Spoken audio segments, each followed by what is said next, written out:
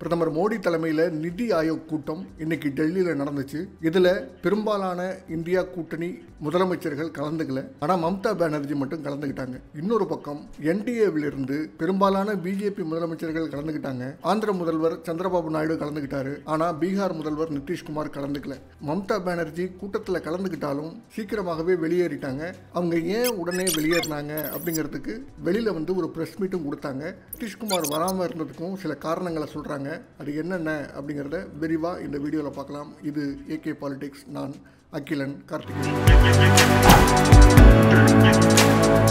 குடிநீர் மின்சாரம் சுகாதாரம் கல்வி நிலம் மற்றும் சொத்துகள். இந்த ஐந்து விஷயங்களை அடிப்படையாக கொண்டு இன்னைக்கு நிதி ஆயோக் கூட்டம் நடத்தப்பட்டுச்சு. பிரதமர் தலைமை தாங்கினார். இந்த நிதி ஆயோக் கூட்டத்தோட நோக்கமே என்ன அப்படின்னு பார்த்தோம்னா கோஆபரேட்டிவ் ஃபெடரலிசம் அப்படிங்கிறத முதல்ல சொல்லுவாங்க. மோடி இதை அறிமுகப்படுத்தும் போது சொன்னதே இதுதான். கோஆபரேட்டிவ் ஃபெடரலிசம் அதாவது கூட்டுறவு கூட்டாட்சி. ஒவ்வொரு மாநிலத்துக்குமான உரிமையையும் ஒவ்வொரு மாநிலத்துக்கான திட்டத்தையும் இந்த நிதி ஆயோக்குள்ள நம்ம கலந்தாலோசிப்போம் அப்படிங்கிற உறுதி அளித்து தான் இந்த நிதி ஆயோக் அப்படிங்கிறதே உருவாக்கப்பட்டுச்சு. இதற்கு முன்பு பிளானிங் கமிஷன் அப்படின்னு ஒன்று இருந்தது.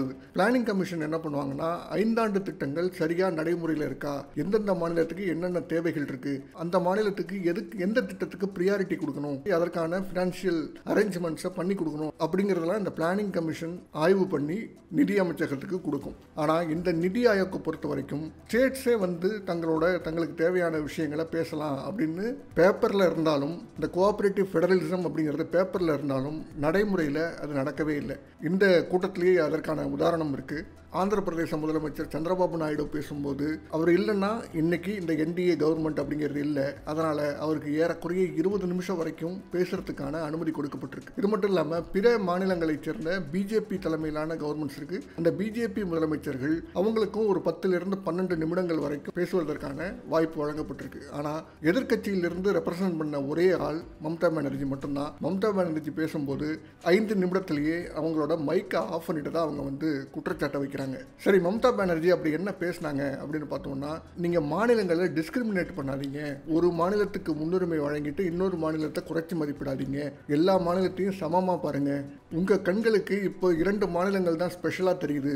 நீங்கள் மற்ற மாநிலங்களை பாதிக்காத வகையில் திட்டத்தை தீட்டினீங்கன்னா நீங்கள் சில மாநிலத்துக்கு ஸ்பெஷல் ஸ்டேட்டஸ் கொடுக்கறத பற்றி எங்களுக்கு கவலை கிடையாது. ஆனால் எதிர்க்கட்சிகள் ஆளுகின்ற எல்லா மாநிலங்களையும் அடக்கி வச்சுட்டு உங்களுக்கு உங்கள் கூட்டணிக்கு தேவையான உங்களோட பொலிட்டிக்கல் அஜெண்டாவுக்கு தேவையான கட்சிகளுக்கு மட்டும் இந்த கட்சிகள் நடத்துகிற அரசுகளுக்கு மட்டும் நீங்கள் நிதியுதவியை பெரிய அளவில் வழங்குவீங்கன்னா அது ஒரு சரியான அணுகுமுறை கிடையாது. எல்லா மாநிலத்தையும் சரியாக பாருங்க. உங்கள் கட்சி தலைவர்கள் சிலர் வெஸ்ட் பெங்காலை இரண்டாக பிரிக்கணும் அப்படின்னு பேசுகிறாங்க இதெல்லாம் சரியான விஷயம் கிடையாது. வெஸ்ட் பெங்காலை ரெண்டாக பிரிக்கிறது அப்படிங்கிறது வந்து இந்தியாவையே பிரிக்கிறதுக்கு சமம். அதனால் உங்கள் கட்சி தலைவர்களை அடக்கி வாசிக்க சொல்லுங்க. இப்படிங்கிறதெல்லாம் பேசிகிட்டு இருக்கும் போதே அவரோட மைக்கை ஆஃப் பண்ணிடுறாங்க. மைக் ஆஃப் பண்ண உடனே அவர் கோபத்தில் எழுந்து வெளியில் வந்துடுறாரு. இதுதான் நீங்கள் முதலமைச்சருக்கு ஒரு மாநிலத்தோட முதலமைச்சருக்கு கொடுக்குற மரியாதையா அப்படின்னு சொல்லி அவர் எழுந்து வெளியில் வந்துடுறாரு. இந்த வெளியில் வந்து அவங்க ப்ரெஸ் மீட் கொடுக்கும் போதும் இந்த நடந்ததெல்லாம் சொல்கிறாங்க சொன்னதுக்கு பிறகு தமிழ்நாடு முதலமைச்சர் ஸ்டாலினும் ஒரு ட்வீட் போடுறாரு.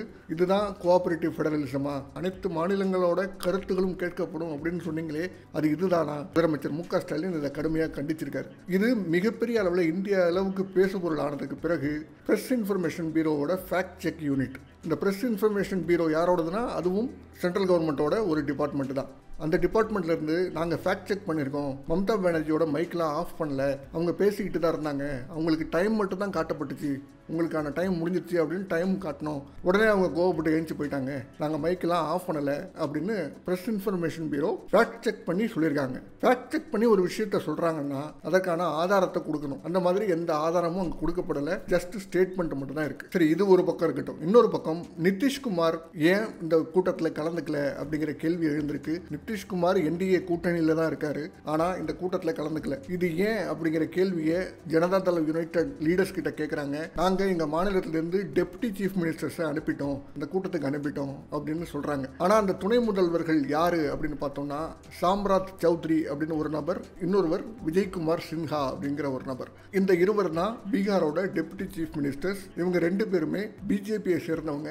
ஜேடியூலேருந்து யாரும் அங்கே போகலை. இன்னொரு காரணமும் சொல்கிறாங்க ஏன் நிதிஷ்குமார் கலந்துக்கல அப்படிங்கிறதுக்கு ஜேடியு தரப்புலேருந்து சொன்ன ஒரு கருத்து. இது மட்டும் இல்லை இதற்கு முன்பு நடந்த நித்தி ஆயோக் கூட்டத்திலையும் நிதிஷ்குமார் கலந்துக்கல. அதனால் இது ஒன்றும் பெரிய மேட்டர் இல்லை அப்படின்னு சொல்லிட்டாங்க. ஆனால் இன்னொரு பக்கம் இருந்து வரக்கூடிய தகவல்கள் என்னன்னா நிதிஷ்குமார் என்டிஏ கவர்மெண்ட் மேலே அதிருப்தியில் இருக்காரு. ஏற்கனவே பட்ஜெட்டின் போது பீகாருக்கு ஸ்பெஷல் கேட்டகரி ஸ்டேட்டஸ் கொடுக்கணும் அப்படின்னு கேட்டுக்கிட்டு இருந்தாங்க. நீண்ட நாளாக இந்த கோரிக்கை இருந்துகிட்டு இருந்துச்சு.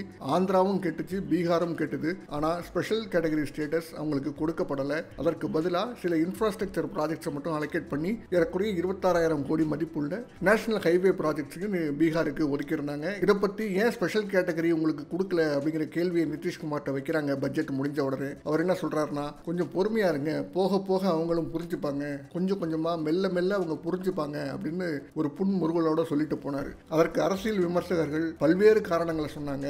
இந்த என்டிஏ கூட்டணியில் இருந்து நிதிஷ்குமார் வெளியேறுவதற்கு தயாராயிட்டாரோ அப்படிங்கிற ஒரு காரணத்தை இந்த பீகார் பாலிடிக்ஸை கூர்ந்து கவனிக்கிற சில அரசியல் திறனாய்வாளர்கள் சொல்றாங்க. வழக்கமா நிதிஷ்குமார் மேல வைக்கிற குற்றச்சாட்டு என்னன்னா தனக்கு முதலமைச்சர் பதவியை உறுதி செய்தாங்கன்னா அவர் எந்த கூட்டணிக்கும் போவார் அப்படிங்கிறது தான் பீகாரில் நடந்துகிட்டு இருக்கிற ஒரு நடைமுறை. என்ன நடக்குது அப்படிங்கிறத பொறுத்திருந்து பார்ப்போம். இது போன்ற இன்னும் அரசியல் சார்ந்த காணொளிகள் நிறைய ஏகே பாலிடிக்ஸ் சேனலில் வரவிருக்கு. ஏகே பாலிடிக்ஸ் சேனலை சப்ஸ்கிரைப் பண்ணுறதுக்கு கன்சிடர் பண்ணுங்கள் நன்றி.